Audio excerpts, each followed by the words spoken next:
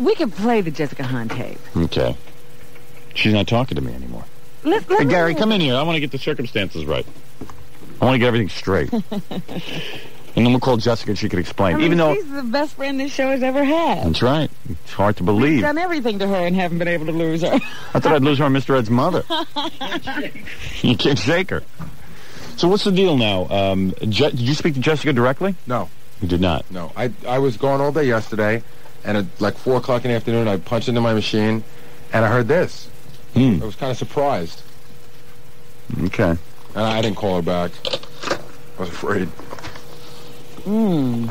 I'll straighten it out. She's she's looking for for my attention. I think.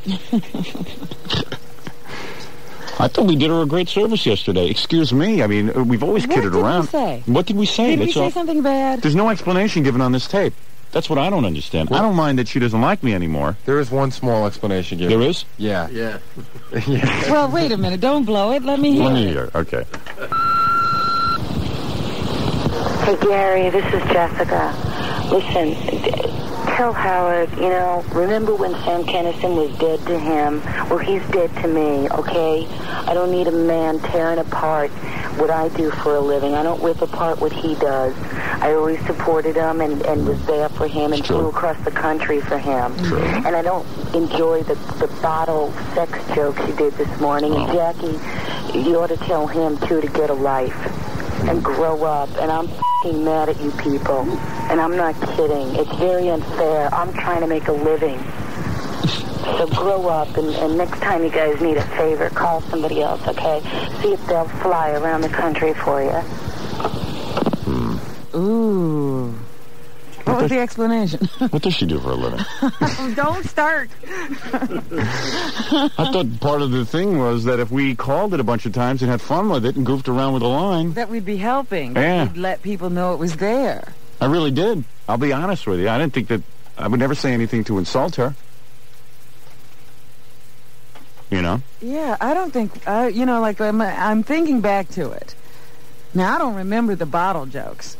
The bottle jokes where we were talking about snap and gyro, picking up a bottle. We girls I'm going to instruct you with your snap and gyro. Remember we were talking on the bus about how you have to exercise those muscles? Right, yeah. And then you did like a bunch of bottle noises, like Yeah. take off the caps and the exercises Right. and all that. That was a joke. Yeah, I mean, that's not for real. Certainly no heavier than anything we don't say on a day-to-day basis. And wouldn't she be shocked if we really did leave her alone and never called her again? Oh, boy. All right, let's do that. All right, I'm dead to her. Oh, Boom, that's it. Never mention her again, never have her on again, nothing. Right.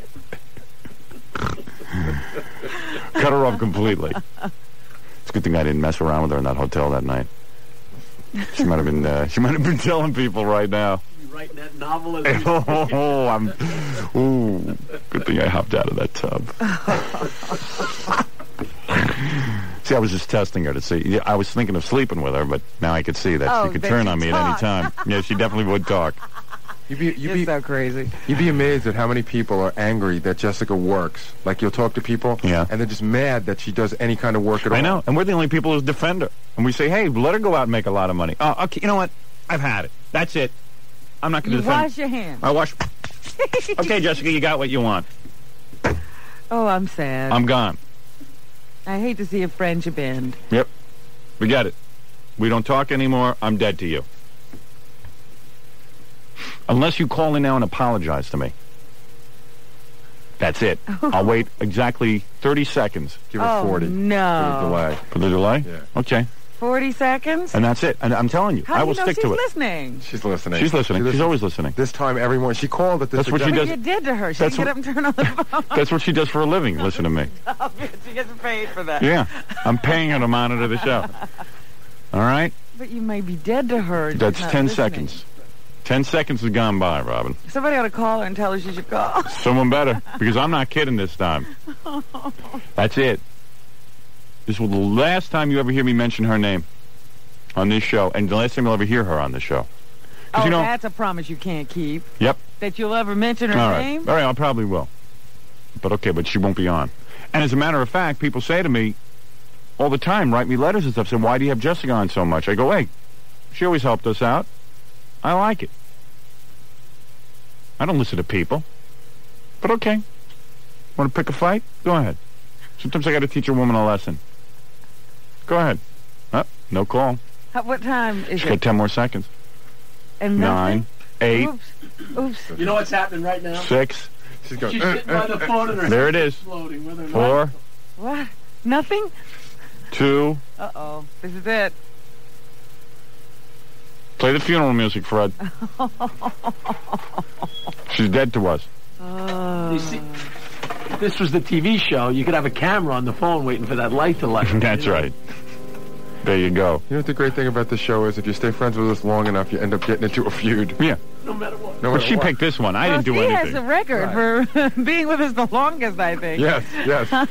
She was a good woman, but she obviously was offended by what I said. I don't. Uh, I don't necessarily buy into It that. I. sounds like it must be real. She didn't call. Yeah. She must oh. have been really offended. she could be sleeping, but I doubt she wouldn't leave that message and then sleep the next morning. You know what I mean? It's too bad I had a thing for her to do on our TV show, but it's too bad. I'll have to rewrite that. I thought it would be good for her to be seen nationally, but hey, what do I know? Hey, give Jackie that spot. He wants to hmm. go there. She can hook up with Alan Colmes. we had a TV ad for her to do. Which I was going to call her about today, but, hey, you know, okay. Good night, funny snap and gyro. Oh, Too bad. I guess, you know, that's terrible. I guess nobody wants to work out there. Well, you know, find your own work. See what happens. Well, she is working. She says so. She doesn't make fun of your work. Don't Yeah. go around bashing her. Bashing her work. oh, boy. the other day, I do distinctly recall her saying she wanted us to promote it. Yeah. But, no, we're going to promote it in a positive way, like by saying this is. We're not saying it's negative or positive. We're just we saying we're, say we're having fun with it. We sat and listened to it. Yeah. She's out of line on this one. But this time, she's dead to me. As I am to her. But, uh, I'm not kidding this time either. Ah, if she Let's calls see how Gary. long this lasts. Mm-mm. Let's see how long this lasts. Nope, nope, nope, nope. Mm-mm. Dead. Dead to me. Yeah, but you like accepted apologies from other people. Here's the last time you'll ever hear her voice on the show. Ready? Oh, Hey, Gary, this is Jessica. Listen, d- tell Howard, you know, I set her up with Andy. Well, that I would be angry with. Yeah, that I can understand. Well, he's dead to me, okay? I don't need a man tearing apart what I do for a living. I don't rip apart what he does. I always supported him and, and was there for him and flew across the country for him. And I don't enjoy the, the bottle sex jokes you did this morning. And Jackie, you ought to tell him, too, to get a life and grow up. And I'm fing mad at you people. And I'm not kidding. It's very unfair. I'm trying to make a living. So grow up, and, and next time you guys need a favor, call somebody else, okay? See if they'll fly around the country for you. I can't imagine how I would ever be married to her because she she's hard to figure. Like, why would you All of a sudden. all of a sudden? I mean, we were the same yesterday as we've been were the day before. We don't change. Right. And the truth of it is your relationship with her is based on making those jokes. Of course. Without those jokes, no What are we going to do with her? Yeah, I won't make any more jokes. I have a serious conversation every time you show up. debate. Yeah. No, I got to put down my foot. I got to make an example of someone. And she's the one I got to make an example of. As much as it distresses me because I like her, but I got to make an example of someone. When someone says they're dead, that I am dead to them, that's it. You get 30 seconds to apologize. You don't call in. That's it. You're off. She was our Carol Wayne. Yeah. Well, Carol Wayne died, so. Yeah, I was gonna say. I hope Yeah. she doesn't wind up like floating uh, on a Mexican beach somewhere. Unlike Carol Wayne, though, Jessica died with a nice body. you know? You're terrible. That's right, Carol Wayne went. Took a look in the mirror. That threat seems to be popular on this show. Yeah, You're you're, dead. dead. to me. Well, that's because I started it. Now everyone wants to. But it's been used a lot. Yeah. Who's el- who else has been dead? Uh, Sam was uh, Sam was dead to us. We were dead to him. Dice. Dice is dead to us. Gilbert was dead to us. Emo Right. was dead to us. Yeah. Bon Jovi was dead Bon to Jovi's us. dead to They us. still are dead to us. That's right. Bon Jovi's still dead. Fred's in a coma. All right, it's 716 92.3 K-Rock, WYSP, WJFK. Well, we have to move along, even though there's Yep. been a death in the family. Yeah, well, Oh, we'll just have to find some other guests. Too bad. I really did have a TV ad for her. yeah. And, Yeah. and that, To that kick off the whole show. and that all important first slot of the first TV show. Yeah, I was going to give it to her. You mean the first slot, not you were going to give it. Yeah, right. Well, is Fawn Hall busy? Get her, give me her number. I think Donna Rice is. Can you call Donna Rice, Gary, and see if we can line her up? Maybe it's time to have Secrete back in to do the weather. Gary's answering machine, oh, Jerry's answering machine always has cool stuff on it. Before I, I I'm going to play John's tapes, and they're going to blow everyone away, and it's going to be a lot of fun. But, and then we got to get to the news because I do want to hear. Yeah. I The Elton John the, tape. uh, I Yeah. was just listening to the Elton John tape. You good? Yeah. Oh yeah. What do you do? Can't hear that now, huh? Oh yeah. You could hear it now. It was just that I it was it's it was recuing. You want to hear it? Yeah. Okay. Hold on. John, can you just grab that from Robin? Oh, sure. Thanks. But Gary got this cool message from uh, Andy Bloom, our program director in Philly. He does that. He does that thing that he does. You know that. That noise, that, yeah. annoying noise. Yeah. When he's he, as soon as he gets like the the he gets real full of himself and he gets out what he has to say, he makes that noise. You'll hear it. Andy, you know how Andy gets excited? He's got a big news scoop, and then it's always something that's just totally irrelevant. It's really only relevant to him, but he thinks it's real exciting. Gary, Andy, at 6 o'clock. Uh, you probably won't get a hold of me tonight, so I will give you the news now.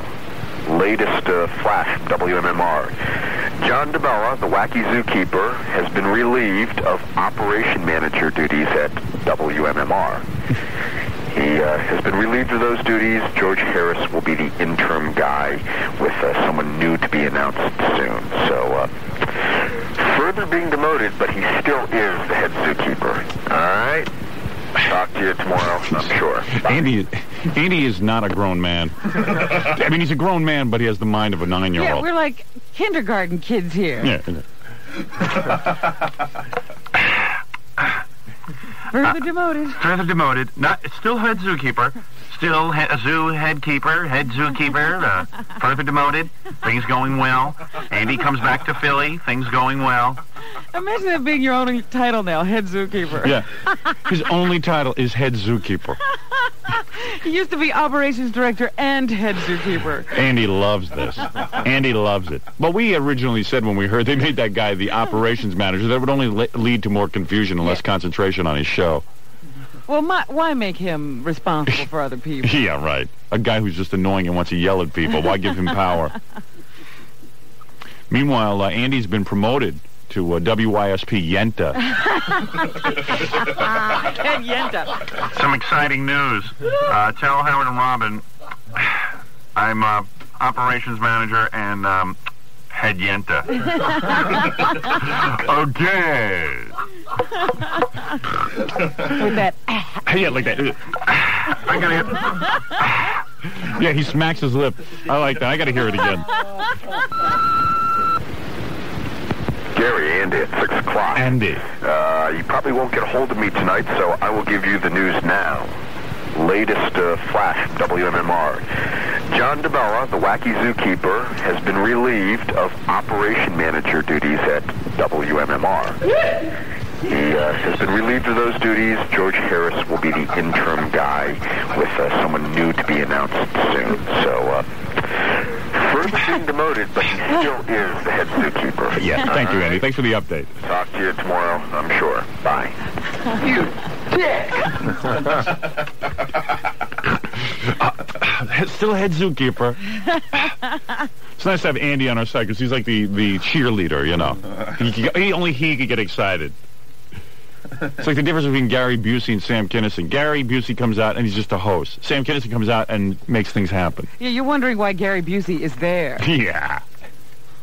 Because he smashed his head into a wall and played Buddy Holly 25 years ago. Yeah, ah, some good news.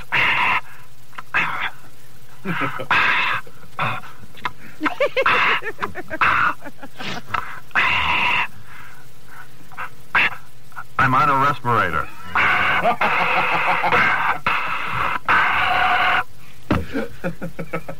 What a kook. What a Okay. kookala. Gary Andy. Andy. Andy. Yeah, what, what, he can't even say his own name. Like Aunt Bee. Yeah, right. Gary, this is Andy. I just, uh, you know, it's really true. They, I saw another report that the last couple of years of Aunt Bee's life, she actually took to calling herself Aunt Bee. Oh, no. Frances Bavier, who played Aunt Bee, she actually took to calling herself Aunt Bee. well, you know, I read the other day they were selling off some of her stuff. Yeah. They were auctioning some of Aunt Bee's stuff. Anything good? Oh, I don't think so. I'd Panties. like Aunt dress. Aunt bloomers. ooh, ooh, look at that, Andy. Selling off Aunt bloomers. and those happening shoes she used to wear. Yes. Aunt Bee, the B is for buried. Pretend I'm a panties. Ooh, get this. Ski these. Ooh, yes, Andy. Ooh, come on, let's do some coke. With Goober. Ooh. Now, Floyd, you know Goober's only smoking hash. you know he's in AA. Ooh, that's right. He's no fun. All right, 729. I tell you what, short little break. I'm going to come right back and start Stuttering John's tapes. They will blow your mind. All right, you have the Elton John tape. Oh, I do?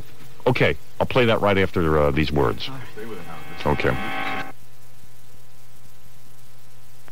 Let's get into this. Come on, because this is everyone's been waiting for this. I know I've been waiting for it. Well, you First- still not gonna what? Yeah, first the Elton John tape. All right, because this was uh, Elton It's up there John the bottom.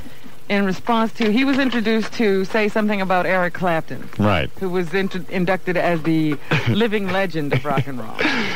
And Elton hauled off on Sam. Right. Oh, Sam's going to be out of his mind. Oh, I'm sure this devastated him. Because Sam really did do a good job, I thought.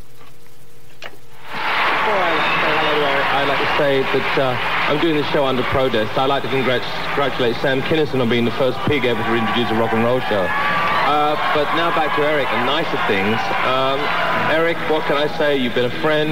You're, I can't think of any other musician, uh, any musician that wouldn't want to work with you. Um, you're the best guitarist. And uh, I look forward to playing with you at Knebworth. And just future in the International Rock Awards, please have decent people in. That's when he started cursing, and they cut him off. And then they took him. Because you know what I found out? They started taping at 8.30 and ran the show starting at 9.30. So that gave them an hour to cut everything up. Is that what happened? Yeah. Because they let an Eric Clapton slip slip through. Yeah, I know. He said something like, uh, He said the S word. yeah. Yeah, I'm getting too... I got that. But, you know, and I thought, well, maybe they turned on the delay after that happened because that was the only one they got through. I guess it just slipped up. You know, they'd probably say ah, I was a quiet one. But everybody heard it, you know. Yeah. You don't miss the S word on these award shows. You're waiting for him. See, this is why this award show sucked. They allowed guys, suits and tie guys, to edit. And they go into the editing room. Instead of just bleeping out one word, I would have liked to hear, you know, I'd What like to hear what he had to say. Yeah, they just bleeped out everything Yeah. after that. But you could see his mouth was still going. And apparently they heard it in the hall, and he said these uh, decent people to host these effing awards. And then, and then for the rest of the show, they wouldn't put the camera on Sam. Well, the end of the show was just going back to Eric to have him accept, and then the jam session started. And you didn't see Sam anymore, except that he was on stage during the jam, and then Eric Clapton called, Called him over. so that they could mug with each other while they were playing guitars.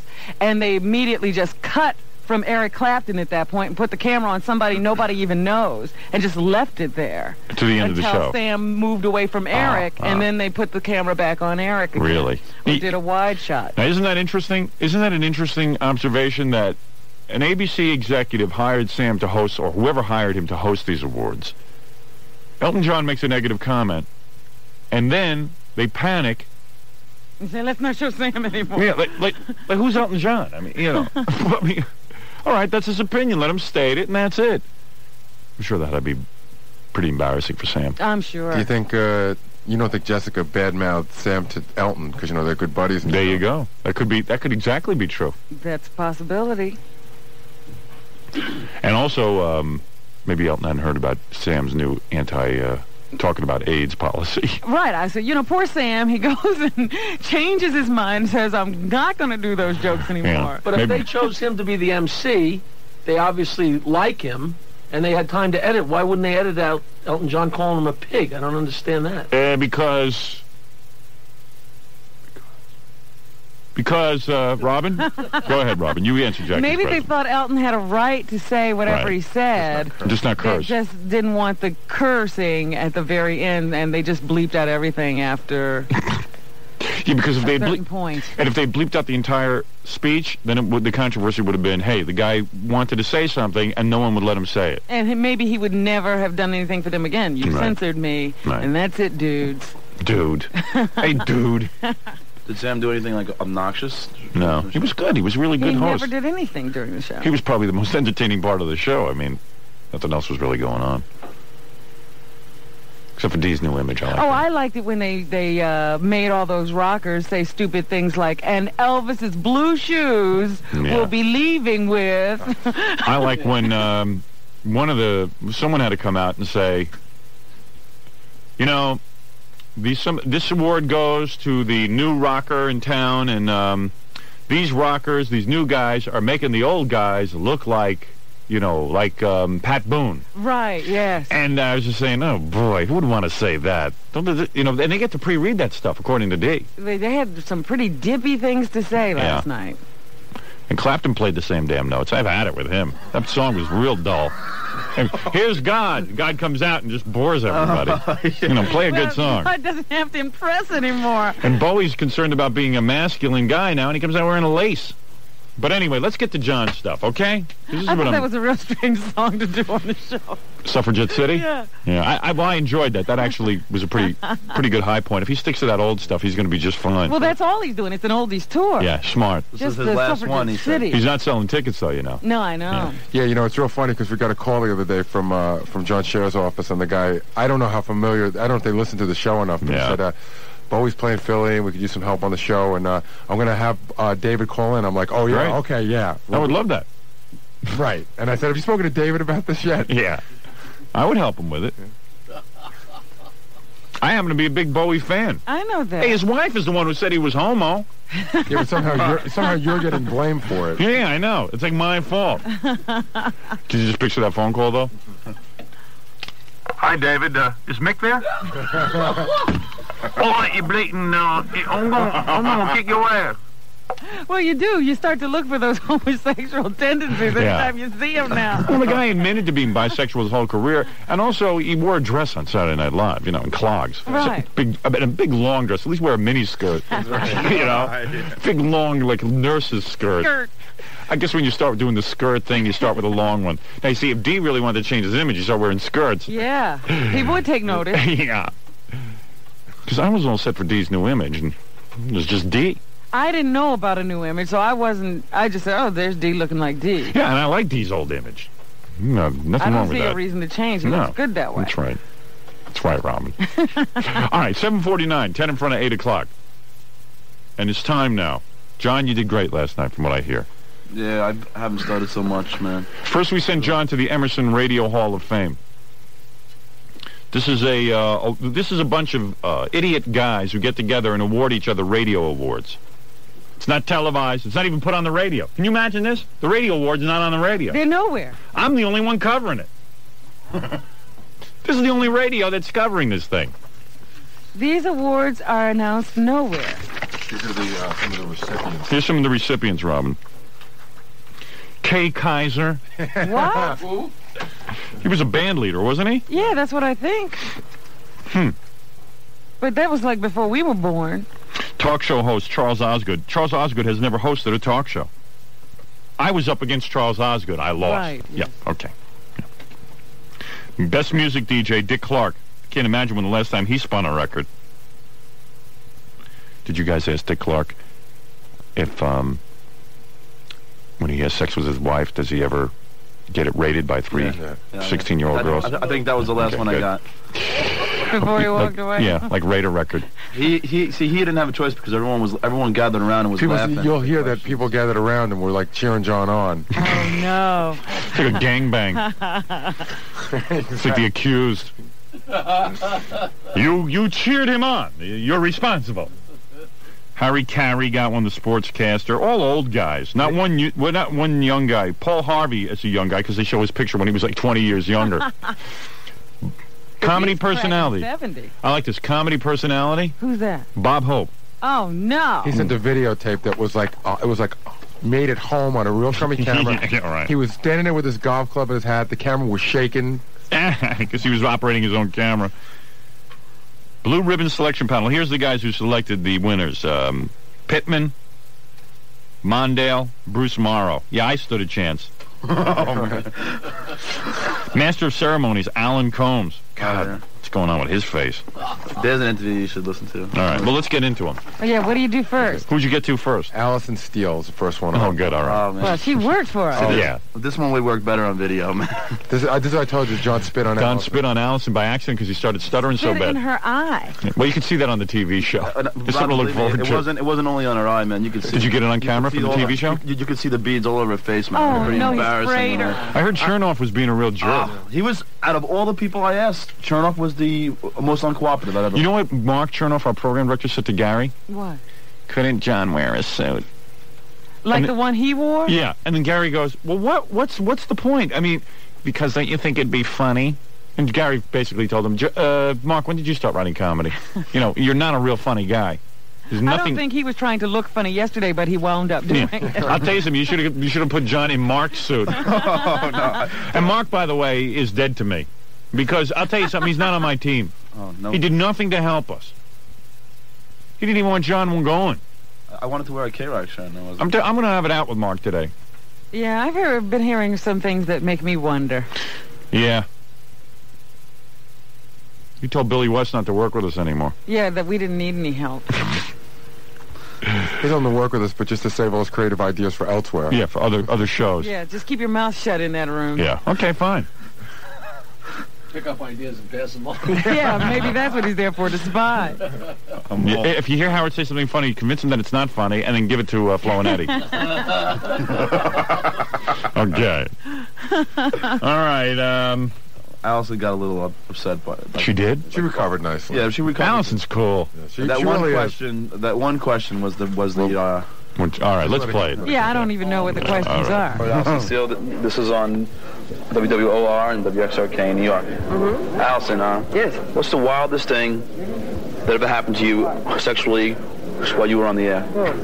This is one of Howard's questions. Nothing sexually ever happened to me on the air. Come on, I a, a fox like you. I have told this to Howard a million times. When I'm on the air, I'm working, and I'm taking care of business, and I'm paying. Do you know that in all the years that I was on uh, WNEW, I never got a um, what do you call them? Uh, a, a breather, a, a mash call. I really never did. Honestly, I would be the first to tell you, John. Okay, let, let, let me ask a question. Did you ever date Thomas Ev- Thomas Emerson before he invented No, I know Radio? a lot of girls that Thomas who? We we purposely said Thomas Emerson. You know. Whoa, that was cool. how bad? How mad was she when you said that? Because you know we're always kidding Alison about her age, but she's really not that old. She broke that cardinal rule of finishing a sentence for a stutterer. Yeah, right. She did. She finished the sentence. Okay, let, let, let me ask a question. Did you ever date Thomas? Is this where he clams on her? No, I think it's the next coming up. You'll Yeah. when are we taping the TV show? I want to see that. Soon. This question. Did you ever date Thomas Ev- Thomas E- Emerson before he invented No, I know Radio? a lot of girls that did, but I wasn't one of them. I wanted to get a date with him, but he just couldn't see me for dust. Really, really? Mm. How do you make love to a Negro without getting tired? That's when you spit on her? Wait, is, is that what you clammed on her? I think so. Oh man. This goes, you understand, this goes on all day. Wait a second. Uh, this is, I, I'm telling you, man. I, I, Oh, these are too cool. I Wait a really, second. I don't know what happened, man. I could not spit out anything. Yes, you could. Just not words. to a Negro without getting tired? You're like Paul Harvey. How do you make love to a Negro? Without getting tired. I'm sorry.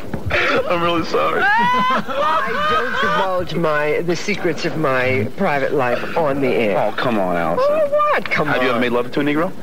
Listen, if I were to tell, look, when someone asks me about me and Howard, do I tell them? No. Okay, I all right, keep all it right. secret. I'll get on something a little bit more um, tender.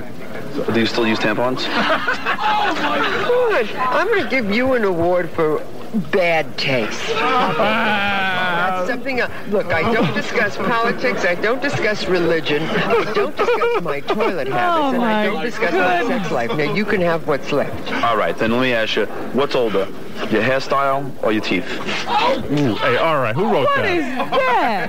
Who wrote that? What is that? Who wrote that? That's not nice. Was that on the paper? No. That was not on the The the paper. paper's I mean, where is that paper? Where is that paper? No, right there. Right at the, I think I crossed that one out. He highlighted you got it right it. not, man. That was I don't on like the that. paper? You call and apologize to that woman. I like her. Guys, I'm just reading off the paper, man. She's a legend. How dare you? You know, Shelley typed that in. I'm not kidding. It's not on the paper. Why you? What's older, your hairstyle? Ooh, was that typed in? Well, yeah, it is. you Oh, I'm man. just, I'm just doing what you guys are t- telling me. know, her and Jessica are going to start a club. The Howard is Dead Club. That was rotten. Yeah, all right, okay, all right. There was an accident. That was, it should not have been in there. I overlooked it. I take full responsibility. I thought the big tampon one was a little bit more offensive. Really? I like that one. That was okay. that was funny. No, no, no, but I was really curious to the answer. Okay, I'll drink to that. Let me think Hey, now. meanwhile, tell me you wouldn't want to do Alison. Alison looks oh, damn yeah, good. She looks real good. There you man. go. Oh, Robin, you want friends or you want ratings? no, I'm sorry. That was oh, wrong. that was wrong. That was that was uh, Stuttering John's fault. Oh, what, what do you mean, man? I'm just, Who know you? Who even thought you would ask that? I'm just That was a throwaway. They never thought you'd get Sorry. that far. You're never supposed to go that far. She was supposed to kick you in the head after the tampon question. She's got a good sense of humor, though. Yeah, she wasn't really Yeah, I uh, know. too disturbed by that. I'd say my teeth. Your teeth. Yes. Is K-Rock paying you more than you'd be getting from Social Social Security? I'd say it- two or three bucks, maybe. Oh, Yes. really? I mean, Are you are you good friends with Chernoff? I like Mike. He's uh, uh, Mike. Mike. Ah, that's the best. That's the best. Do you? I like Mike. Mike Chernoff. Yeah, I like Mike Chernoff too. It's Mark I can't stand. Yeah, I can see that, Mike. Mark. He's a, a terrific guy to work for, and I'm I'm I've always. Wait a second. That's funny. I like Mike. There's a woman who could care less. Good friends with Chernoff. I like Mike. He's uh, uh, Mark. He's a terrific guy. Mike, see that, Mike? Mark. He's a, a terrific guy to work for, and I'm I'm I've always been very fond of him, even before I went to work. Is there is, is there such thing as a casting couch in radio? I've never been on one. I don't know. I mean, like you never I have to might have please been- anyone sexually. For, I might have been How long do you go on with her? That's, That's it. That's it. a star if I want to go that route. Yeah, I don't know. This is your ad libs, I think, at this point, right? Oh, there's no one else to get. I, think I it's just, see. You know. So he's just wasting time. Wasting and time. Figures he'll just insult the woman even more. Oh no, I mean, I'm really small potatoes. I might have been in the movies or on Broadway or whatever, but I've never gone that route. I don't believe in it. I think you should get where you get standing straight up, not on your back. Hmm. okay, Alison. All right. I really appreciate it. John, it's a real pleasure. And if you come up with any more smarmy questions, let me know. Okay. No, All right, she's thank you. great. I dig her, man. I dig yeah, her. yeah, she's real nice. All right, come on, big round of applause. She handled it well. Even the tampon question. Oh, man. You think she's? Man, never mind. She looks damn good, believe me. Whether whether whether or not that's a relevant question doesn't matter. She still looks good, right, Robin? She's very attractive. Very sexy Very woman. classy lady. You bet. And that's what makes that so incredibly funny. It's you. You got balls, man. You got real balls, my friend. Oh, what's your name, sir? Dwight Weist, time for the March of time. Oh yeah, you, are you in radio? Accepting, I'm Who's this guy? Who is this? Remember the old newsreels, The March of Time? I'll pass on him. Yeah. Yeah. I just, John, um, that's going to be funny for the TV show. He took John behind a curtain, put on an FDR mask, and did impersonations. This is Dick Clark coming up now. All right, let me take a break because Dick Clark. We wrote a lot of questions. If John got to even three of them, we're in shape. John couldn't spit out one of them. You couldn't spit them out. You got Oh, nervous. Man. Did you get uh, No, nervous? I got, I got out, out about eight or nine, but it was tough. Did you get nervous around the Dick Master General? Is that yeah, what happened? Yeah, pretty much. I didn't want to get, you know, banned like dice. You know, Right. Have my albums banned when they. You know. Okay, please. Your albums are banned. You just don't know it. All right, it's 8 o'clock, I WXRK New the York. fix is the in. fix is in. YSP, Philadelphia, WJFK, Washington. Uh, three quarters of our audience, by the way, doesn't know who FDR is. That's why I passed on that guy. What is it, Gary? You know who's back from the dead? Who? Mark Chernoff. What's he want? He wants to talk to you. About what? I don't know. He, So tell him to come in. no, he was, he's on the phone. He's on the phone. He's not here. No, Hmm. yeah. Oh, we had a big day yesterday. Yeah, he was over at the Emerson Awards. Oh, I want to get to Dick Clark. I don't know what this guy wants. Is that him? Yeah. What's he doing on the Philly line? No, no, right here. That's the Philly line. Where's it? Should- this- He should be on this line. Mark, Yeah. Hmm. what is it? Oh, are, you, are we on the air? Of course we're on the air. I'm in Philadelphia this morning. I can't. What are you doing there? I'm. Uh, Don't mess with that show over there. I'm. I'm not. I'm. I'm doing good in Philly. Just stay away. You're doing great in New York too. I'm. I'm in. Right, right. No thanks to you, Well, well I, little buddy. why do you say that?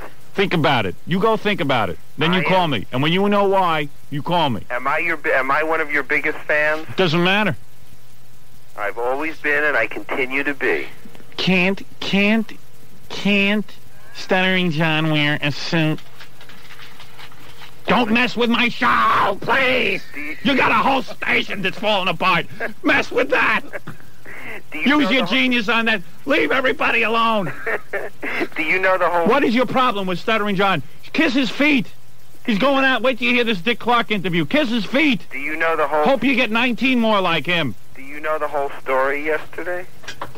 What's the story? Well, yesterday, uh, Gary asked our promotion director if John could have a T-shirt, and our promotion director said no, Mm-hmm. and had Gary ask me. Mm-hmm. So I said that when he asked me, I said, "What does he need it for?"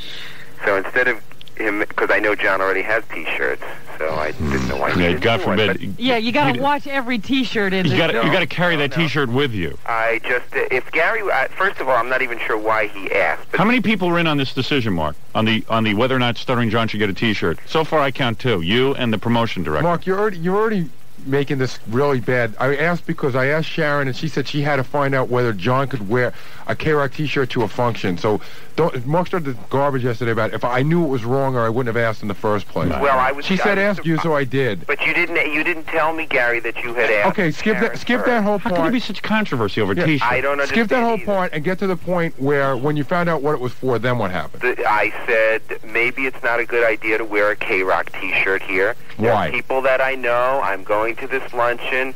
There are people that I might need to either ask to have as guests on the station or to have some involvement. And as a radio station in its entirety, as the program director, I have to make the decision: is it a good idea to represent the Howard Stern show which- or Of course it is. just Of course it's a good idea to represent the Howard Stern But show. tell- Howard tell- Stern show is K-Rock. But Part of it. Howard, tell me what the advantage is of John wearing a K-Rock T-shirt. Because we thought it would help him get Oh, credibility when we were trying. John doesn't have me. press passes because we excuse never me, got Gary, any. Could I finish my question? Oh, go for it. Mm. All right. All right, all right, all right. Tell Listen, me- I don't have time for this. Well, just tell me what the advantage is of him wearing All a right, all right. You know what? T-shirt when he's not, when he's going to be asking people I just questions. Next that- time, just, just you know No, what, you know what, John? you know what it Next time, I just was out ask all me for night. the T-shirt. I- Excuse me, I'm sorry. John. You're handling him all wrong. Ask me for the T-shirt. I'll go back and get you a T-shirt. You put it on. Don't involve Mark with these decisions. He's the program director. He's got more on his mind than worrying about T-shirts. Can I be honest with you though? I need, need a T-shirt. Cover for your Howard. back. Yeah, I need a T-shirt because uh, Howard wants me to wear But it. But I didn't once say he shouldn't go. I was Can happy just say- that he was going. It was no problem that he Can was just say two going. things? I figured it would be great material for the show. You have no say in whether he goes or not. That wasn't the point. Oh. Can I just say two things? Yeah. There's only two reasons I wanted the T-shirt. One being because I was out all night. All right, all right, all Wait, right. Wait, no. But the other one is because I thought it would be look cool having K Rock on the TV. Don't think like that. Don't think about the K-Rock. K-Rock and the it TV show are two Mark. separate I things. thought it looked cool having for the TV show me with You know what? K-Rock. Next time, come to me. Don't bother Mark with That's this. the only you know, I reason- have to side with Mark on this. These two morons are busy fighting with Mark on this. Well, they didn't even tell me they were doing it for the TV show. Hmm. Maybe that would have changed my mind. All right. Listen, Ma- Mike. I mean, Mark. Tell Alison Steele to get your name straight. I- I'll take this up with you off the air. All right. Goodbye. Mark Chernoff.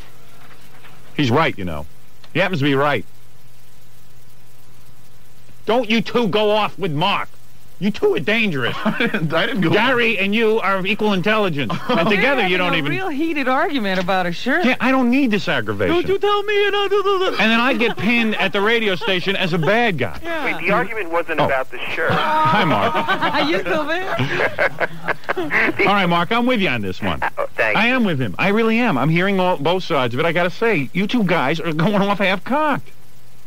I just wanted a shirt, man, because I. I John wanted a shirt because he slept So in come his, to me. I would have gotten you a shirt. I smelled. You always smell. No, I don't always smell. Why You should know, today I be have a problem with a guy who never brings his, you know, he doesn't ever change his clothes. It's just that I felt that I felt that Mark has become ashamed of the show. That was my argument. Well, you happen to be right, and that's what I will take up with Mark off the air in all That is- that's- seriousness. if- if because it's okay like to that- use me for my ratings, but if to have a T-shirt to use, you know, to get interviews is not and okay. you should re- promote like- the rest of the show, even though you are Yeah. an embarrassment. If Right. I felt like that, why would I The kid works for free. right Give him a stupid T-shirt, and that's it. Let him just go off with his T-shirt. Don't worry so much.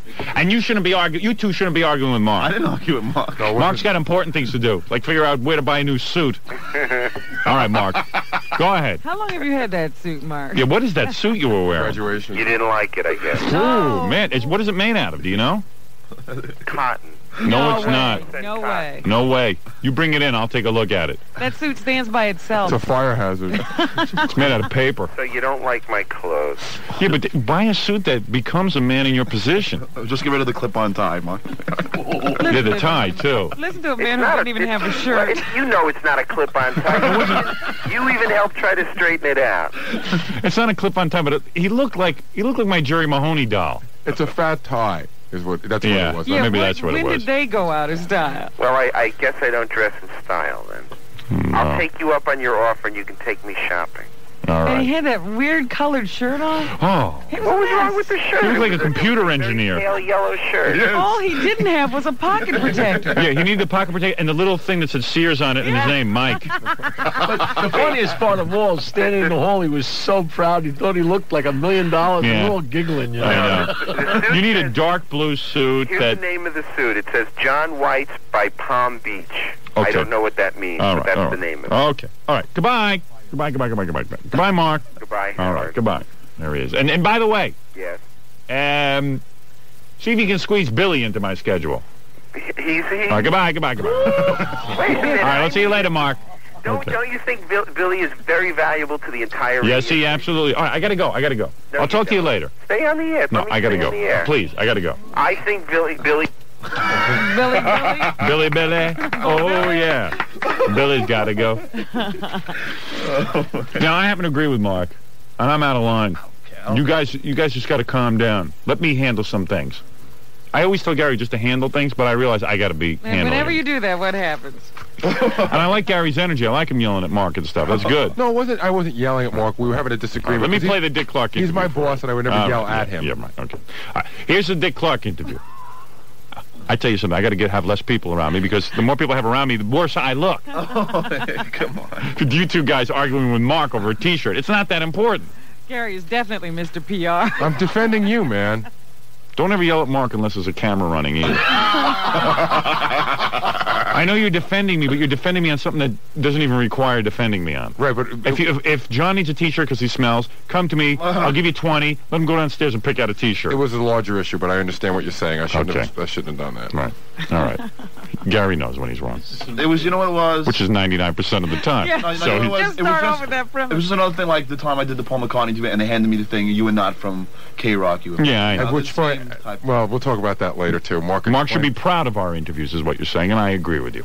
Okay, now He let's get. And here's one he should. figure out how he should handle it and go handle it because we hear- are here at the station. Here's the Dick Clark interview, which I think everyone should be very proud of. Okay. All right. This is a five dollar T-shirt we're arguing about. Hi, Dick. How are you? Hi. I'm John. Hello, John. How are you? What, going? what are we doing here? This is for uh, WWOR and, Okay. and, and WXRK. And, and, uh, Dick Clark. Okay, okay. Yeah. Having that camera gets you know gets into a lot of places. He was giving he was giving John a funny look because you know he's Dick Clark and John's got long hair Hmm. Yeah, and a right. shirt not not a K Rock one, but he was wearing a T-shirt. I got douche chills already. But he was like he was like okay, Okay. you know, Dick Clark's a good guy. to a point. he's a trooper.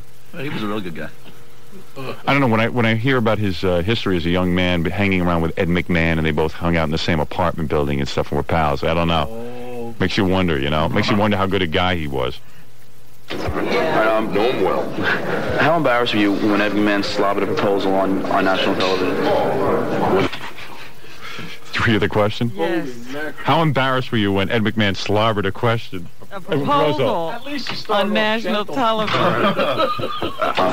New York. Um, know him well. How embarrassed were you when Ed McMahon slobbered a proposal on, on national television?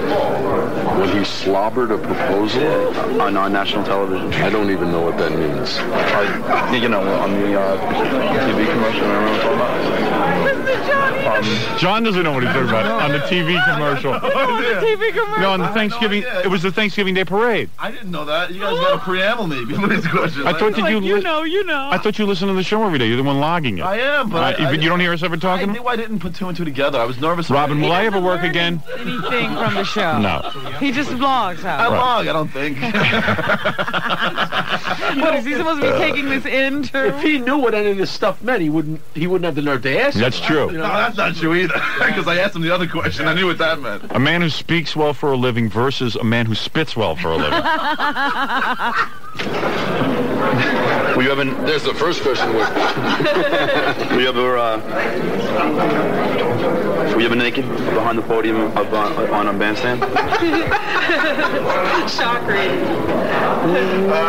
what are you purporting to represent here? Well, I I started, that's why I'm having a problem getting at the questions. I'm, you know, I'm Am I on bloopers? All right, let, let me ask it. Did you kill Dice Clay's television series? No. Because because there is rumors about that. Of course not. Uh, how do you uh, react to the rumors? I don't even answer them because they're without foundation. Will you see Ford Fairlane? Do I see him failing? No, no, no. Will you see? He thinks his the worst they are. Oh, this is great. This is just so cool. Oh, this is so cool. Hey, can we take a break and then finish this? Well, sure we can. Yeah. All right, let, let me take a break. And how many more? There's a lot of questions, I, right? I got mine. Oh, Oh, good. Okay, all right. Oh, we'll be back is right after. Don't move from your radio. 92.3 K-Rock is WXRK New York, the home of guaranteed 20-song music marathons. I was in here yelling at uh, Stuttering John and Gary, Gary wasn't there. but I was yelling at him. I thought that was pretty funny. I had to give a seminar on how to behave around Mark. Because Mark is their boss. I didn't, Mark is my boss, too. I didn't argue with Mark. We don't run Mark's life. I never argued with him.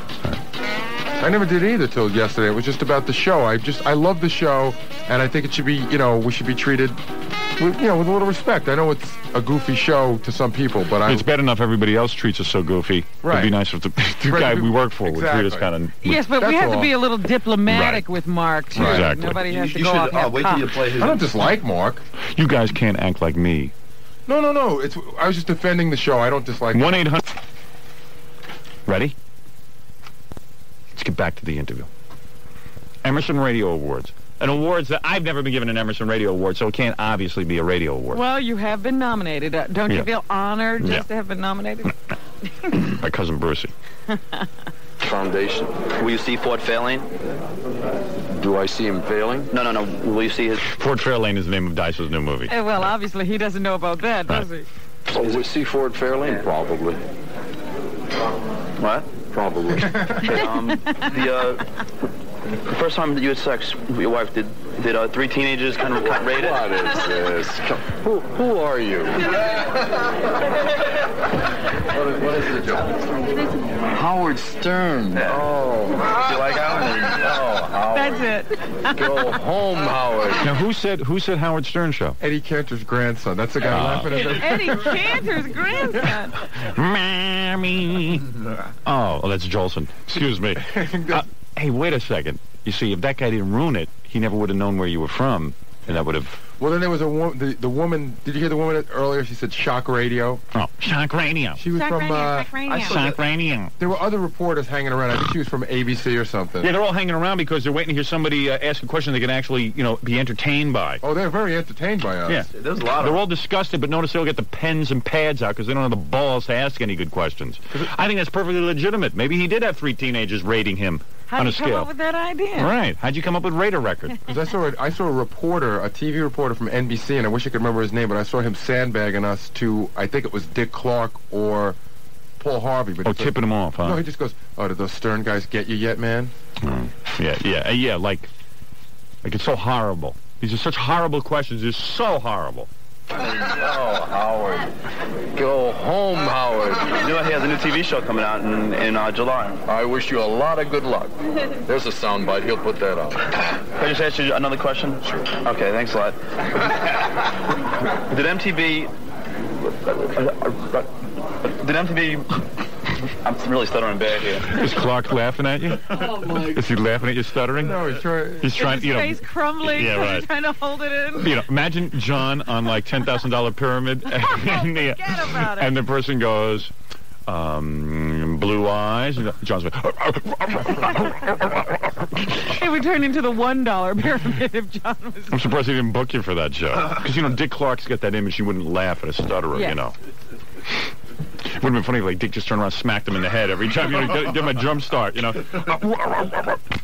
Okay, I have a question for you. Did MTV uh, rip, rip, rip off your uh, dance show? Oh, people have ripped that dance show off since the beginning of time. Why should they be any different? No, I agree. Does um a, a Shadoe Steven sound effeminate to you? I don't believe these. Did Howard ask you to ask me these questions? Was he such a coward that he wouldn't show up and ask them himself in person? Howard, the next Yes. time you want to do this to me, show up. Thanks a lot, Dick. Appreciate it. I had no idea what you were asking. That was pretty cool. You gotta see it. Oh. You want to know what other questions we had for him? Yeah. That John didn't get to? See, I would have kept shotgunning these No, questions I, at I, him. I, was. He's shotgunning Howard, isn't he? That's true. Who am I talking to? I to? was trying to get him back, Howard. I was. I, I was. I, a few What? times. Now, John finished, and then he went back to him again a little bit later. Yeah. And then when John went to go talk to Paul Harvey, Mhm. Dick Clark was standing right next to him, and Dick Dick started like walking backwards. John seems to think that Dick really dug him Yeah. and wanted more, but I mean, he didn't hate you, but he, he definitely wasn't. but once I seen him again, I go, Dick, can I ask you a few more questions? He goes, Yeah, in a minute. no, no, no, he was blowing him off. John didn't realize he was getting the blow off. Here's the other questions, all right? Because he only got to a third of them. Is Casey Kasem's wife a man? Is Casey Kasem a woman? Did you ever see Cousin Brucey take payola? How do you respond to the charges that you are evil? How do you respond to the charges that you are an alien? Did you ever consider making love to the teenage girls on Bandstand? Were you secretly laughing at Neil Sedaka like we were? Did you ever see Chuck Berry naked with white women in a high society magazine? Do you think Dick is an appropriate name for you? Oh. Uh, maybe I should have just went straight down to one of them. You know, right? Now you did good. Believe me, you had more balls than anybody would have. Right, Robin? Yeah, well, I just noticed that you you guys have forgotten about the the warm up questions. Yeah, you just yeah. go right for blood. now. It, there's no more. There's no more preambling. Yeah, you don't even give them give 'em No. the idea that this is a regular interview anymore. Oh, you gotta just get in there, Robin. you know, you know, when you think about it, it never helped us in the past to ask some nice No, questions I mean, first. the people would be standing there, would be right in there, and then all, you know, they say, oh, it's a normal interview. They get comfortable, and then you blow them away. Because if you remember the the uh, Carl Yastrzemski interview, we did ask him one nice question first, and then as soon as you start in with the bad one, Carl Yastrzemski, Well- he was a bad example. yeah, The classic example of this was Candice Bergen's mother. John's opening question to her was maybe the, the most brutal question ever. what did your your husband ever put his hand up your back and try to work you like a puppet? Woman's 80 years old. Uh, hey, Robin, a pitcher doesn't throw his first pitch underhanded. He just goes in and he goes out and gives it his best shot. Yeah, but the batter gets to wind up. I see. There's a couple of warm-ups. Yeah, you know, he gets to stand there and get ready. I see. Hey, uh, so what's another good one? And then we got to... Um, why don't we go straight to Walter Mondale? That's really the Ah. best one. The man where is ran that? for president. Or, or Chernoff. Man ran for president. Howard, Howard Chernoff's a real good one, too. Chernoff's good? Yeah. All right. How about if I do Walter Mondale and Chernoff? Uh-huh. We do a little news, because Rain Pryor's coming by, too. Richard Pryor's daughter. And, and, and Chernoff is short. It's only, I asked two questions, and then he... Don't talk about his height. He was the only... Don't keep saying Chernoff is short. he was the only one who, who actually left from me. You know, he walked Yeah, away because yeah, he he can't be involved. Well, well, he was busy, um, you know, talking to all the all, all the people, and I just. Well, here he is. Who's this, Mondale? No, uh, Chernoff. Okay. This is Mark Chernoff, our program director, as he networks. Notice the suit. Hey, Mark, how are you? Oh boy. Hi, John. How are you? This is uh, John. This is for WXRK and the Howard Stern Summer Show. So tell me, Stumpy, are you hostile because you're a dwarf?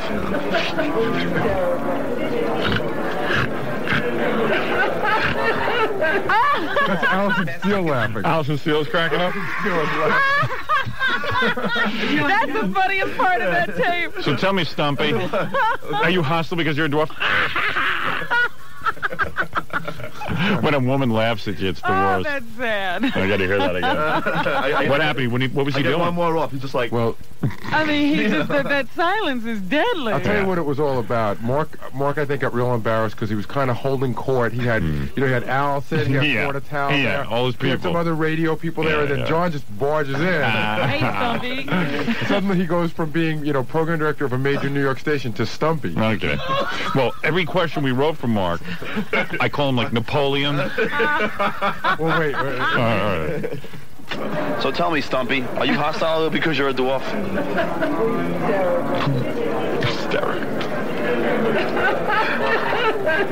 Come on. Is that the best you can do, John? Did you make these up yourself? Okay, mole man. Gary asked you for a T-shirt for me to, to- to promote the station. You suddenly get as stupid as you are short. Oh Oh, my God! You wrote that question. I might have. Oh. Might have been Fred. Might have been Jackie. That was it. That was it, huh? then he walked away. Oh, we had some good questions for him. Uh. Mark's an okay guy. He's a nice guy. He's, I thought he was dead to you. He is. he's a good ball player. Why don't I just call Tom now and tell him I have to meet with him?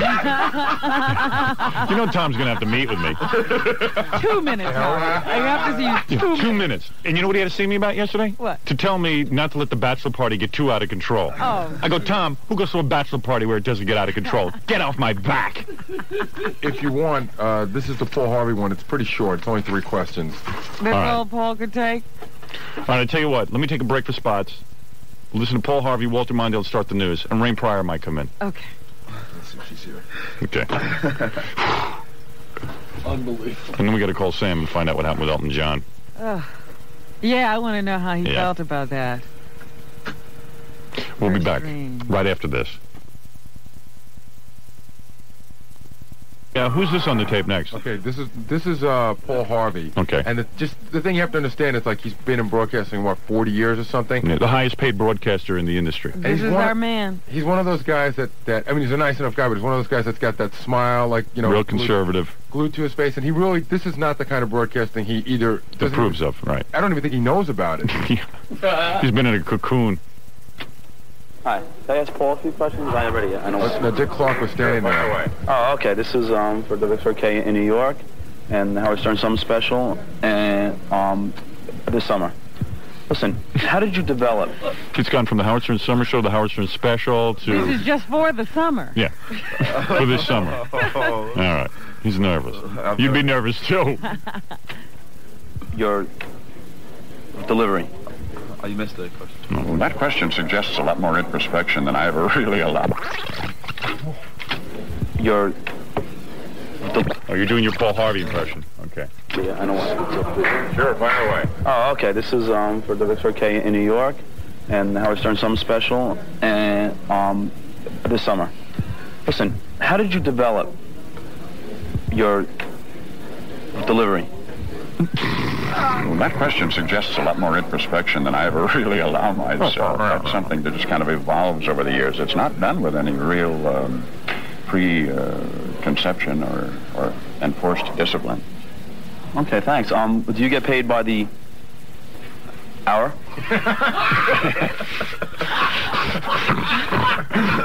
Let me just. The man is 70 years old. Yeah, right. Come on. Do you get paid by the This you got. hour? Right. But see, now this No. he found humorous. Okay. This joke he got. All right. It's the next joke he doesn't get. Okay. I'm not sure. I'm not sure. Okay, um, c- c- can being Paul Harvey get you a lot of girls? Uh, just one.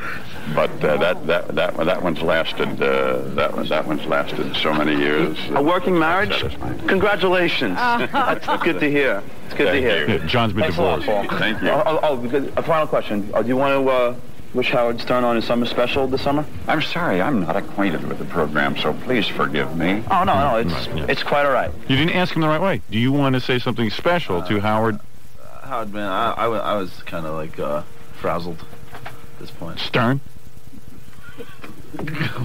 Okay. Where's Mondale? Right. Um, That was good. That was real good. Do you get paid by the hour? That was the kind of thing you really couldn't stutter on. Your timing had to be there. Yeah, you had, John you had came through. John did come through.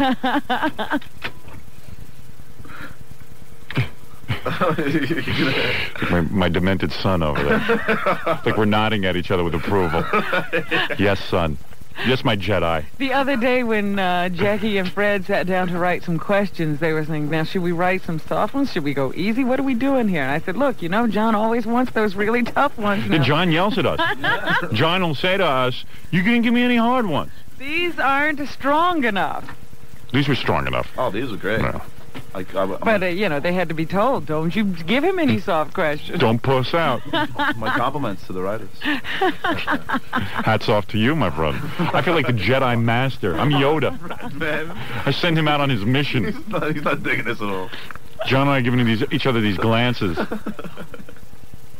My Fred Jedi. still not over the time John yelled at uh, him in California.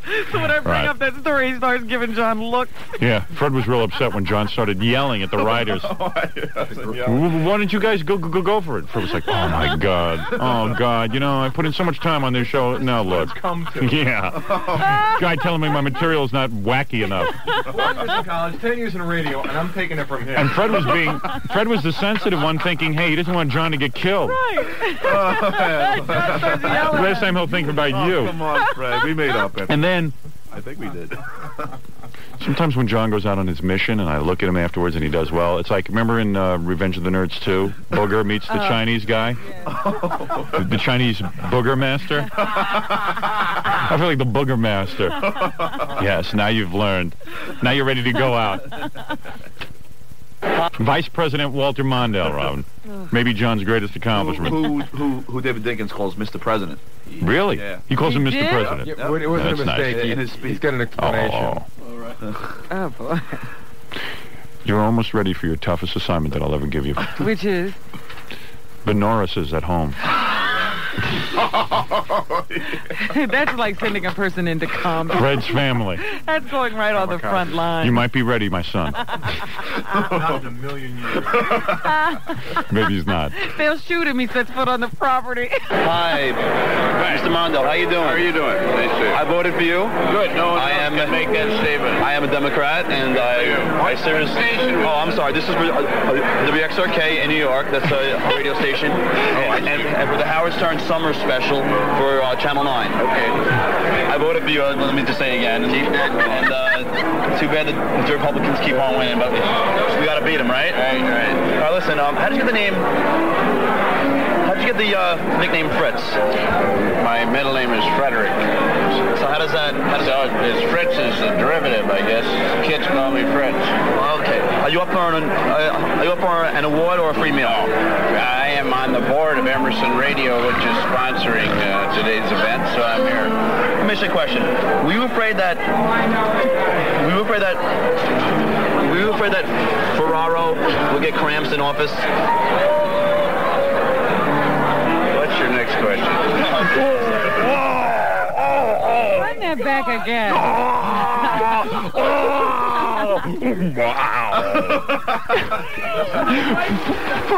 You got that on film? Oh, yeah. Yeah, I gotta see that.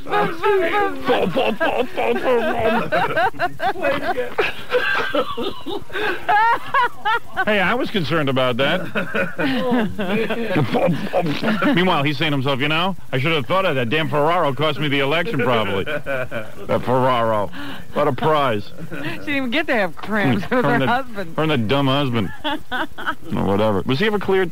No, he had to spend. What did he do? He uh, did something to some lady's will. He borrowed some Huh. money. He was the executor or something. Oh, big deal. Had to pay a few fines, I think. Just a woman's will. sponsoring uh, today's event, so I'm here. Let me ask you a question. Were you afraid that? Were you afraid that? Were you afraid that Ferraro would get cramps in office? What's your next question? You know, I got to tell you something. That sounded like a snake was loose in the room. I know.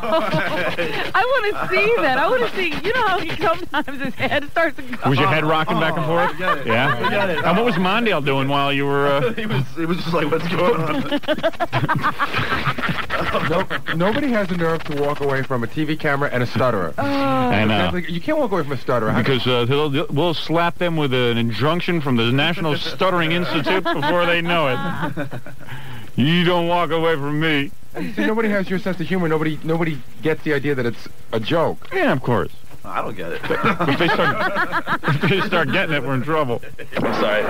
Did Billy Carter ever, ever, ever, uh, ever bomb in the White Yeah, the vice president was thrilled to meet you. That was the best one he's ever done. I couldn't done. put anything on, man. I, it sounded like almost, I was too nervous. That was a machine gun. understandably so.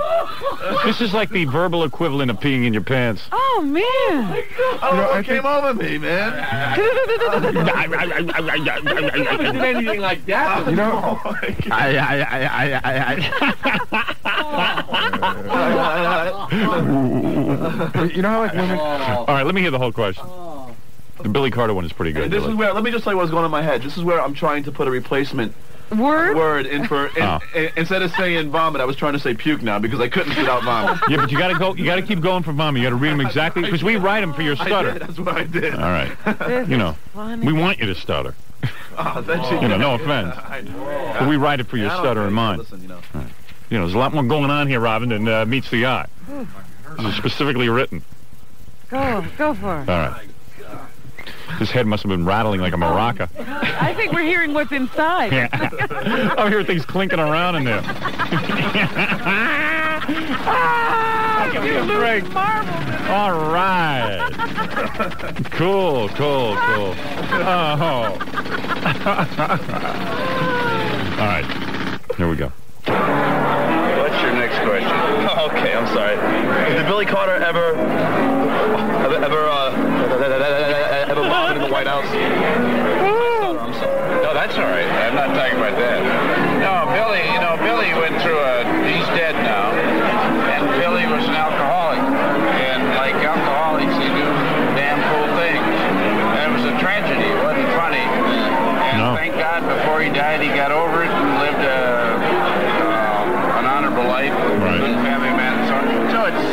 uh, it's a sad thing, isn't you know what I mean? Yeah, no, no, I hear you. Let me just say one final thing. Could you, uh, I hear you. Barely. That's what the vice president needs to be. Yeah, I hear you. If you told the, if you would have told the vice president, dude, I would have cried. I like when he goes, uh, I stutter, I'm sorry. He goes, well, that's not what I'm talking about here. Nobody's talking about anything. Hey, cancel the bachelor party for tomorrow. We're playing the tapes again. Because we got a whole boatload of tapes from uh, from the Rock and Roll Awards, too, don't we? Um, Some stuff. Not really. Some Oh, stuff. okay, we're gonna, all right. This is unbelievable. That was the best stutter he has ever had. One more Howard. One more time, really? Yeah. Really? It was the best. Just don't give that away, though. You make people pay for it. After that one, I'll never stutter again. You couldn't top that. uh, uh, an honorable life, good family. And it was a tragedy. You actually had an answer. No, that's all right. I'm not talking about that. That's pretty funny. right. Did Billy Carter ever, ever, ever, uh, ever bomb in the White House? what the hell? What the hell does that look like on camera? Yeah? His chin touches his... oh, man.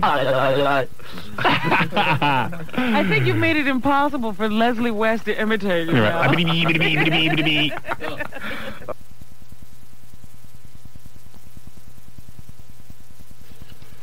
What's in the news, Robin? Well, Howard, George Steinbrenner struck again yesterday, as they say. We now have the 18th Yankee manager since he bought the team in 1973. Yesterday, he let Bucky Dent go because the Yankees have the worst record in baseball. So the Buckmeister General was caught by some reporters, and here's what he had to say about his firing. I have nothing to be ashamed of. I'm not going to put my head down. You know, I feel like uh, I've done the best job that I can managing this ball club. And Yeah, but it was a bad job. you, know, you do have something to be ashamed of. uh, these guys have played hard for me. It's just that we've been unlucky at times, and uh, we've been a little short. Yeah, that's like uh, it's like Imus has been unlucky. It's called no talent. We've been unlucky. I like people who blame stuff on luck, like luck actually exists.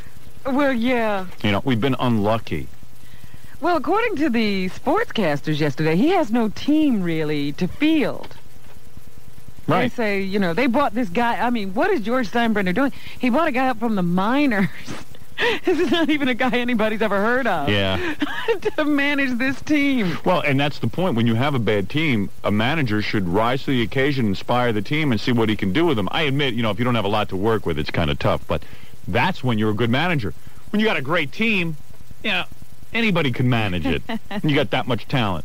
So Bucky Dent, you know, hey, you got a bad team, do something with it. Inspire these guys, kick a little ass. Somebody's got to be in last place, though, Howard. You got to think about that too. Yeah, well, George Steinbrenner is saying the team is not as bad as Right. the as you know its record shows. So that's why he decided it was time for Bucky to go, even though he said that Bucky was going to stay the entire season no matter what.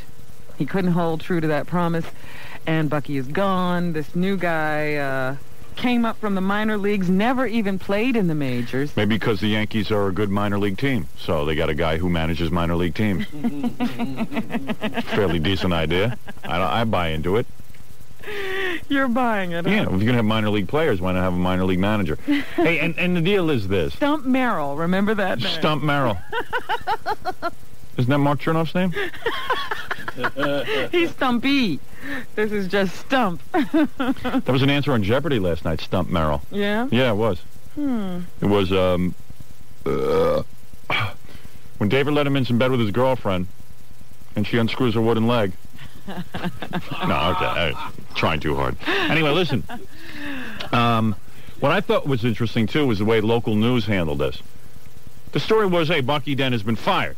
So what do they do? They go out on the street and they ask guys opinions. Oh, yeah. They always do that piece where they ask the local fans what they think. And the big thing is to run over to Mickey Mantle's. Right. Whenever you want to ask a baseball question. Or to ask a cab driver. Like, who would ever in their right mind ask a cab driver anything? Except, please, take me where I'm going and don't kill me. you know what I mean? But uh, you they go over and they start asking cab drivers. So I'm watching local news for 10 minutes, listening to cab drivers' opinions on the Yankees. Well, I was watching Channel 4. I'm sure they gave this story a good 10 minutes. I said, isn't anything else happening in the world? And then what was kind of funny was um, they always have like one woman in the piece. Oh, yes. You know, they always ask a woman's A opinion. waitress. Or a bartender. right. At Mickey Mantle's. Yes. Like the people who drink at Mickey Mantle's would know more about baseball because they anybody. because they're drinking at Mickey Mantle's. you, go, you know, what where, what is that? And it's the same piece every time. Let's go over to Mickey Mantle's quick. We got to get there before Channel 7. Channel 2 just got there. I tell you what, you keep them busy, I'll run into Mickey Mantle's. You know what they could have done? They could have taken the same tape they used for Davey Johnson when they did the Man on the Street then Yeah. and just put in, Yeah. you know, Absolutely. the other names. Bucky Dent. Bucky Dent. What else is in the news? Oh, we, we, unlike the network news and local news, will not spend 10 minutes no, we're not going to eh, devote our entire newscast to the firing of Bucky Dent.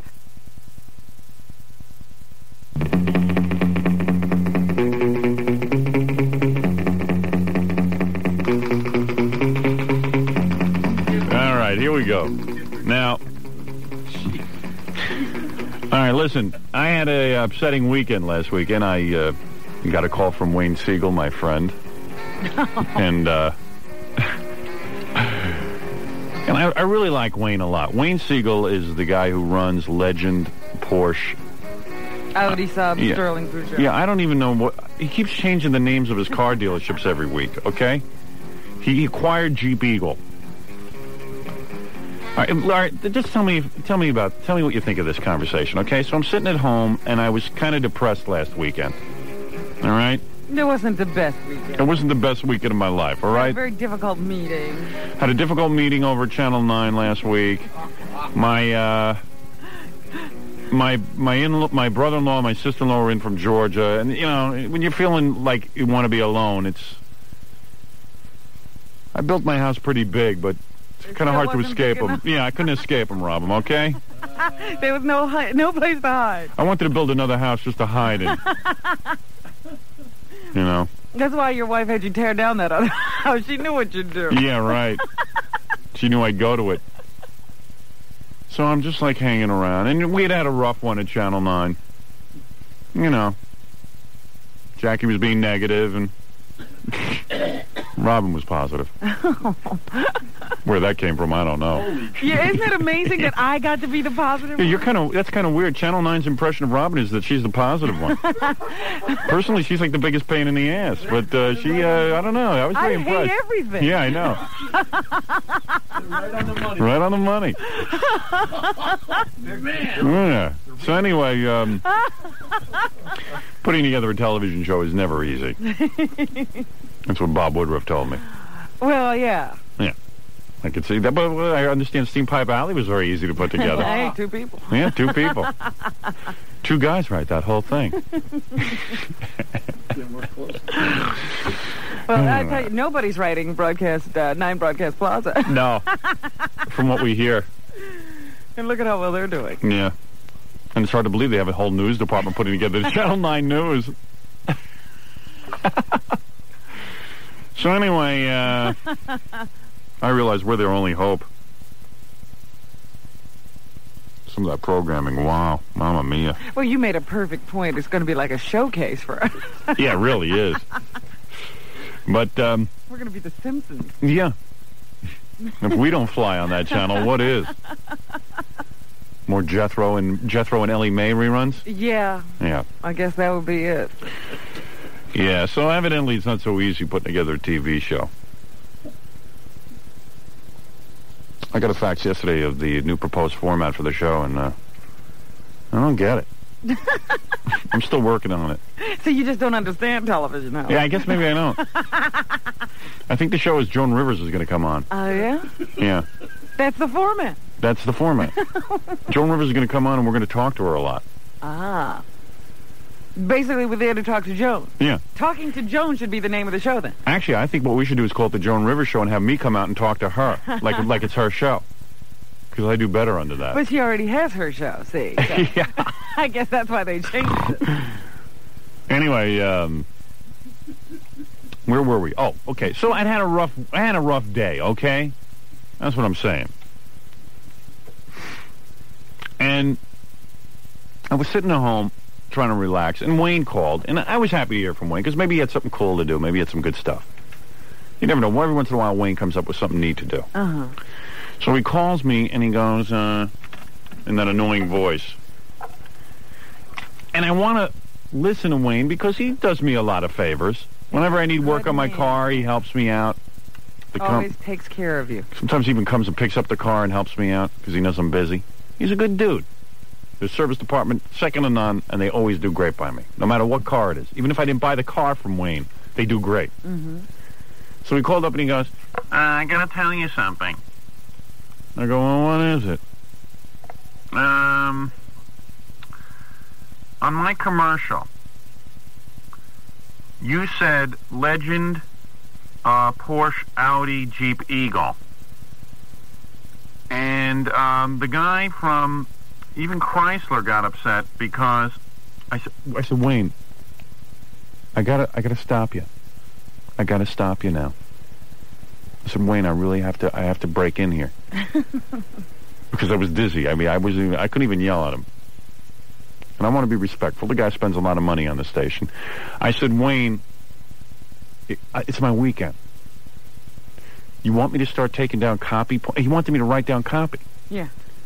Isn't it? I go, do you want me to write down copy? You want me to get out a pencil and paper? No, no, no. I just want to tell you because I and I went like this into the phone. I wish I had taped this. He's so annoying. You know, if it, it- usually it's like a call. Like, Could you mention my brother Michael because he? uh And by the way, my father didn't give me everything in life, and I'm not bored with my family.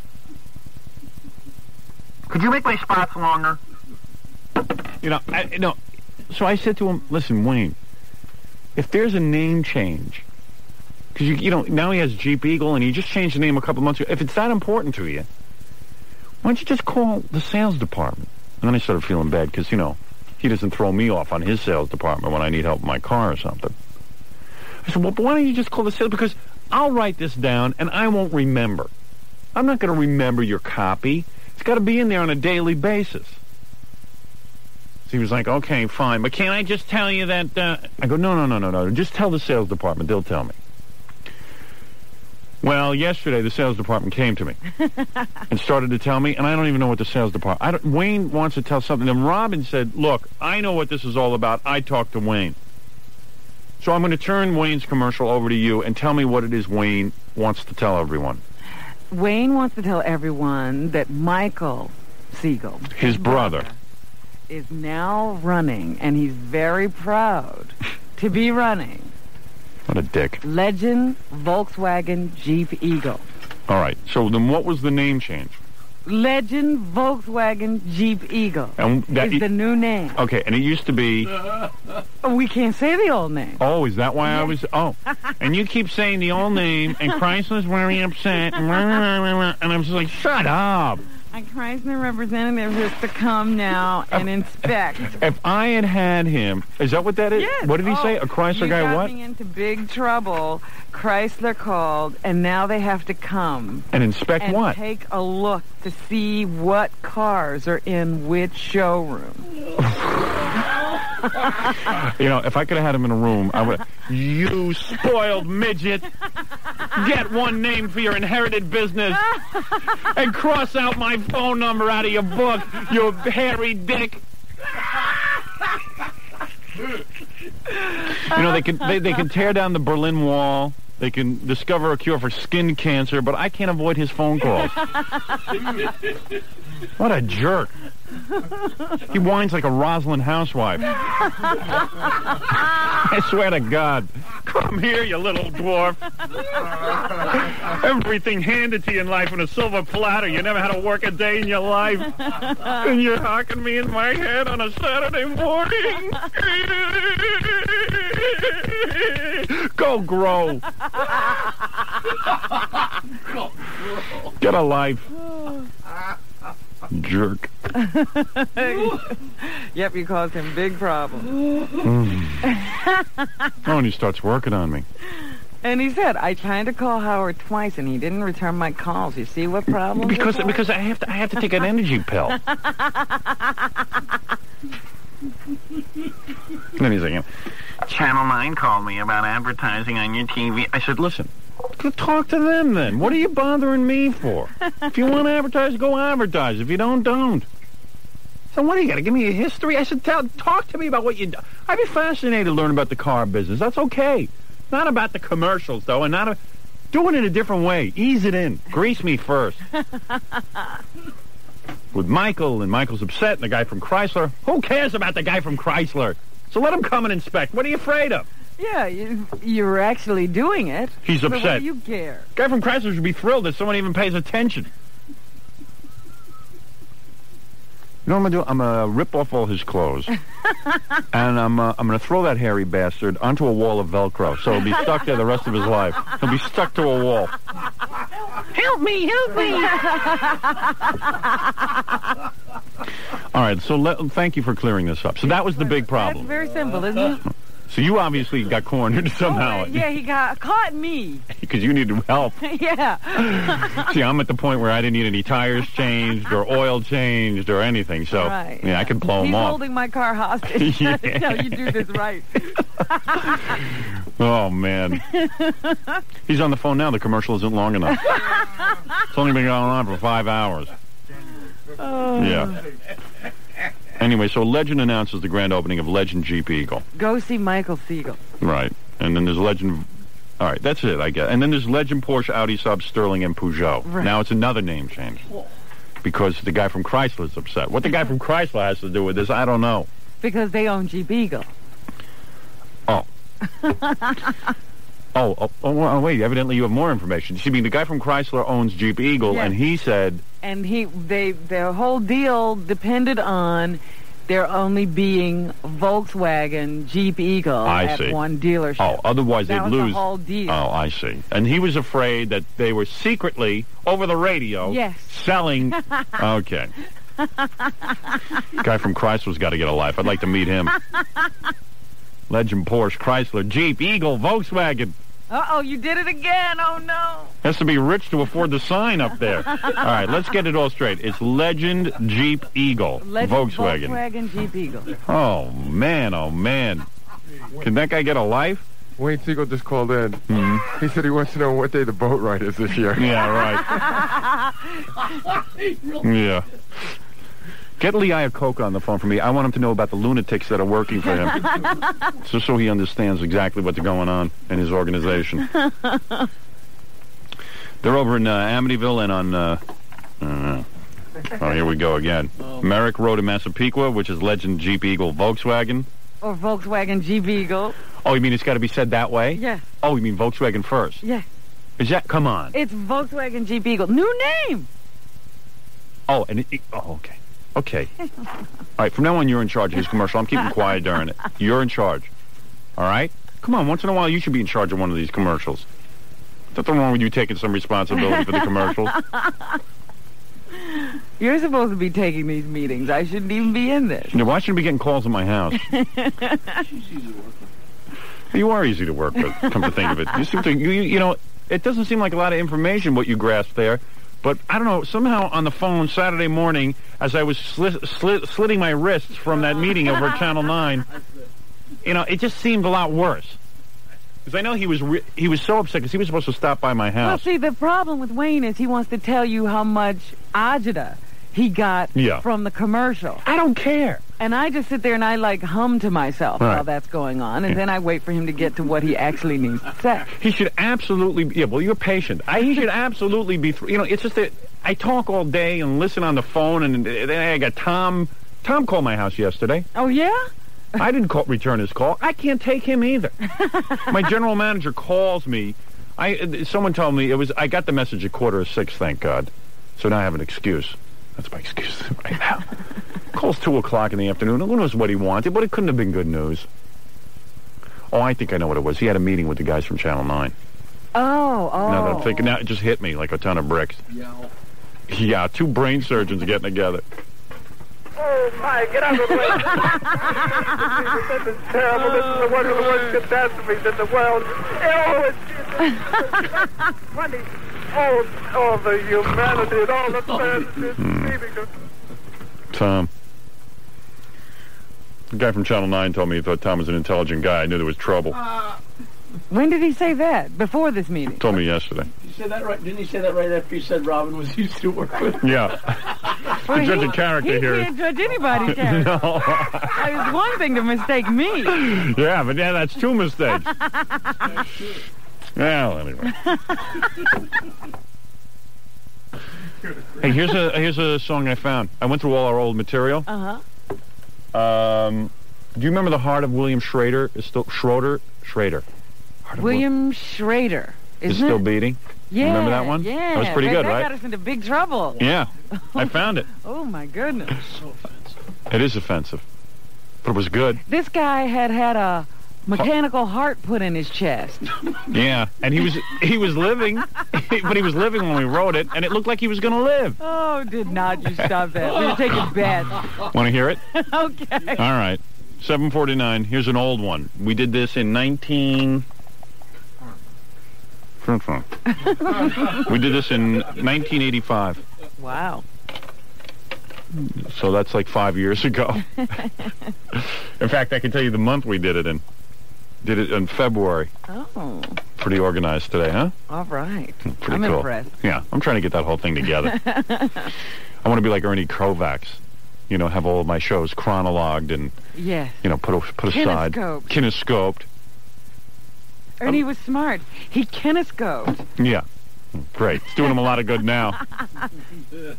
Probably got in that uh, car accident worrying about where his kinescopes were, who was going to be stealing them, who was going to take them.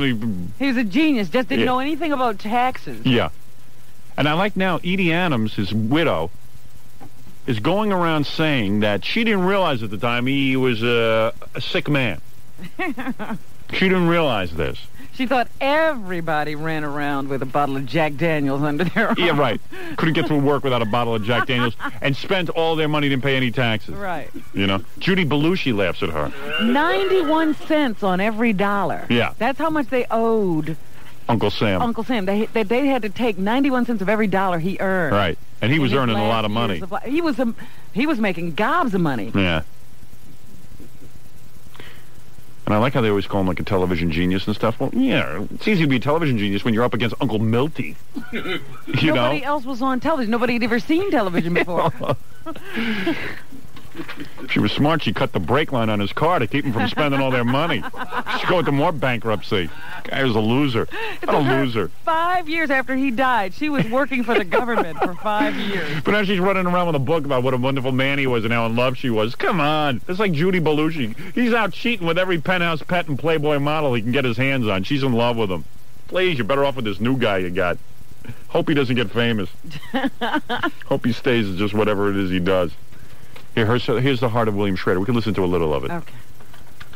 Let's see if it holds. Let's see if it stands the test of time. Okay? Real tough to be a genius in 1952. Hmm, what should we watch tonight? Test Pattern or Ernie Kovacs show? yeah, okay. Right, yeah, yeah. Okay, Ernie Kovacs. This was good. I remember this.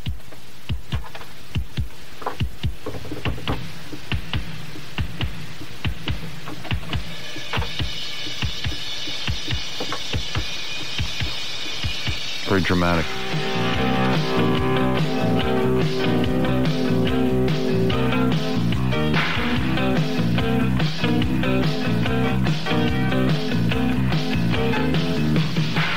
New heart, new heart, music, everything they say.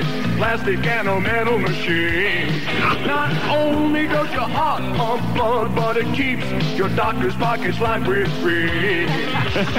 Everywhere there's doctors, real fine doctors, healing men without a doubt. All with the intention of keeping you alive, at least until the Medicaid runs out. They say the heart of William Schroeder's still beating. And from what I see, he's still breathing.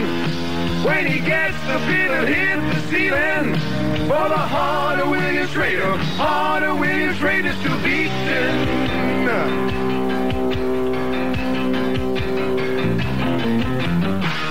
DC, AC, 110 or 20 volts, they got you plugged in by your bed. Have no fear, electricity is here. Just don't forget to pay Con Ed. All the brains of science, ooh, that modern science. There is no way you can lose if you don't short out when you take a bath. Cause an overload could make you blow a fuse. They say the heart of William Schroeder's still beating. What I breathing. When he gets the the ceiling. For the heart of Willie heart of Willie still beating.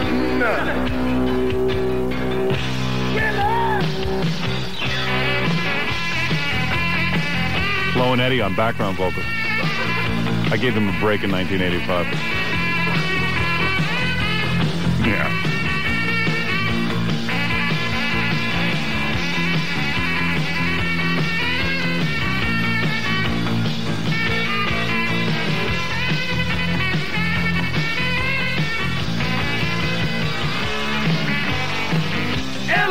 Hollywood, and the Sunset Strip are places that you'll never see. Cause those famous doctors won't let you leave your room, not even to take a pee. All those high-priced surgeons, ooh, those high-priced surgeons, they won't let you make the scene unless it's for the nightly news on CBS or the cover of a People magazine. Love, love, love, love, they say the heart of William is still beating. And from what I see, it's still breathing. when he gets the feeling hit the ceiling. For the harder Willie Schroeder, heart of William Schroeder's still beating. He's breathing. Whoa, whoa! the of William Schroeder.